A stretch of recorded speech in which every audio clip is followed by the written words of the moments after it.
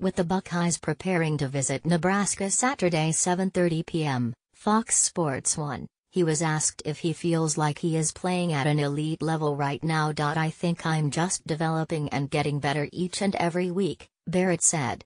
I'm understanding what we're trying to do offensively. I'm getting better as far as watching more film and getting that snapshot of the defense before plays and expecting things better. I think I am playing well, but there are still some things I can improve on. There are stats like my completion percentage is not where we want it to be, closer to 70.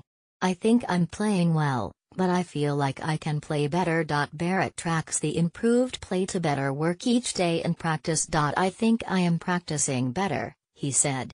I think we're practicing better as a team. That gives you the confidence to go out there and play better on Saturdays.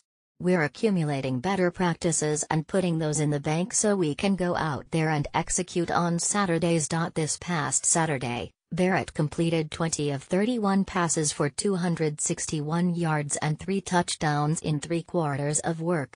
He also had a 1-yard touchdown run in the 62-14 rout of Maryland. He was asked to assess that performance. There were a couple of throws I think about, Barrett said.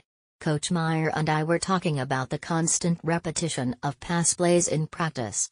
And then you get in the game and you have that one shot, for example, that one touchdown to Benji Victor. I can't tell you how many times we worked on that in practice. And then you get that one shot in the game and complete it. That's exciting.